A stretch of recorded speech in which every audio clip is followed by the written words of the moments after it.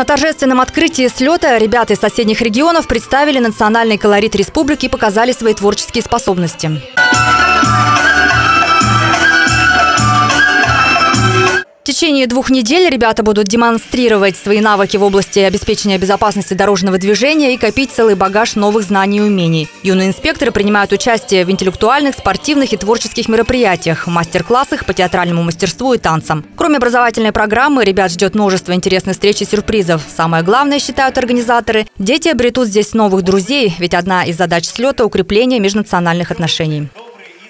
Это общение не только на территории Федерации. Мы точно так же выезжаем, наши детишки выезжают на территории других государств. Были в Казахстане, были в Белоруссии. У нас участвуют европейских конкурсов, победители конкурсов. У нас э, татары, Тюмень, они были, допустим, в Швейцарии и других государствах. То есть это вообще э, мировой тренд э, общения между людьми по какому-то направлению деятельности. А безопасность, она и есть безопасность. Ее нужно обеспечивать. А для того, чтобы обеспечить, нужно иметь знания. И вот они делятся своими знаниями. Все должны быть вместе. И этого мы здесь добиваемся, значит, они здорово себя чувствуют, гордятся этим. И много об этом рассказывают у себя в регионах. При встречах это тоже очень здорово. Итоги 12-го межгосударственного слета юных инспекторов дорожного движения подведут 2 ноября.